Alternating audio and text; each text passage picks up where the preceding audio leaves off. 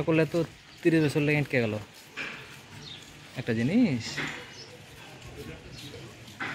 Court কোর্টের হিসাব নাই তো। কোর্ট কখন বলবে?